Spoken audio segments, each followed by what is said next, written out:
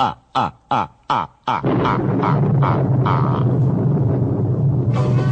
know that I am called the Count. Because I really